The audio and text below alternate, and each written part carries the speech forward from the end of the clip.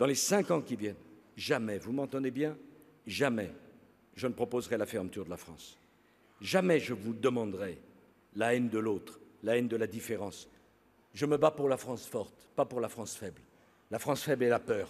Elle déteste.